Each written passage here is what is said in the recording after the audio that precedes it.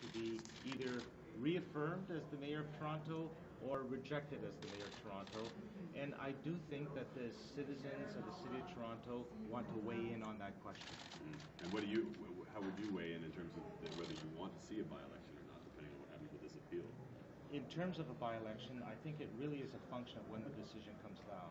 If it comes down in the fall of 2013, unlikely, then think most of us would say, well, for that short period of time, we probably should go with an appointment. However, if the decision comes down in January, which seems to be more likely, then I think the pressure will be on, given that it's two full years of being in office, uh, that we should have an election. I, I would note that uh, in the 1960s, 70s, and 80s, the terms were indeed two years. Uh, we only started with three-year terms in the, in the late 80s, and four-year terms only eight short years ago. So there's nothing unusual in a two-year term. Uh, yes, it will cost somewhere between five and seven million dollars. However, that's that is democracy, and given given a rapidly changing global environment for cities, uh, and given the need for someone to be able to say, I have the mandate of the city of Toronto and its residents when I make this statement about public transit, housing, casinos, um, recreation, that means something, and we should not have that that that gravitas absent from public conversation for a two-year period. In a by-election, and especially everything that's, that's happened over the last week, uh, if the mayor ran again for his old job, hypothetically, what do you think would happen? Uh, well, that that I don't know. That would be up to the electorate to figure out. Um, I could see a multi-person race. I think the more people that are in the race, the better it will be for, for the mayor. But uh, that's it's way too early to, to speculate the twists and turns in the chess game of, uh, of the election itself. The, the issue for today, though, is that if there is an election, uh, if there is, if he is removed from office by virtue of his conflict of interest uh, decision uh, that the judges will make uh, probably sometime in January. Should there be an election or should there be an appointment? And I think the I think the weight of evidence is on having an election. Councillor Mihevc, I know that uh, our, my colleagues have already asked this question, but we're just jumping in here live right now. Can you uh, give us your initial reaction to Mayor Ford being allowed to run uh, in a by-election if City Council so chooses to move in that direction?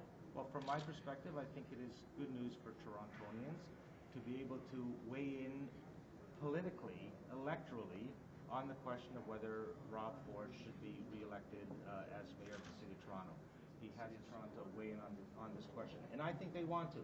I think they want to either affirm him in office or they want to disavow uh, him from uh, office and, and choose a different path. If the mayor's eligible to run, uh, would not some people advance the argument that he's also eligible to be reappointed? Uh, well, I, cannot see this council, frankly, reappointing a mayor that was just unelect, un, just turfed from office by the judiciary. I don't think that, that would be uh, appropriate. Do you read it uh, uh, as, as possible that, that uh, someone from outside council? Is that, is that possible under the rule? Well, it, it is possible. We would have the uh, liberty as council to choose someone, uh, colleague councillor, or someone from the outside. That would be, uh, I believe that that is, uh, that would be our right. However, I do think the pressure will mount over the next month that if the decision from the judiciary, uh, from the Divisional Court goes a certain way, I think the pressure will be that the best way, given the length of term, le- length of time between now and the next municipal election in 2014, that the wisest course of action to give the mayor the gravitas that he or she will need, uh, that an election is the way to establish that. What, uh, what happened last night on council floor? I, I don't have any comment on that. Oh, it's some pretty emotional stuff. I mean, uh, I know it's been a long week.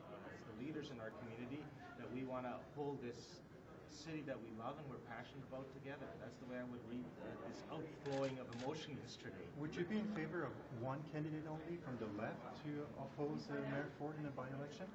At this point, I'm in favor of an election if the decision from the judiciary comes out early enough in the new year. You mentioned you'd like to see lots of names, and that would yours be be a potential? Uh, I- I'm focused on uh, just trying to, at this point, I think most of us on council are just focused on trying to make the right decisions, trying to follow the ball, trying to reassure our community that their garbage is going to be picked up, the library will be open, that we're still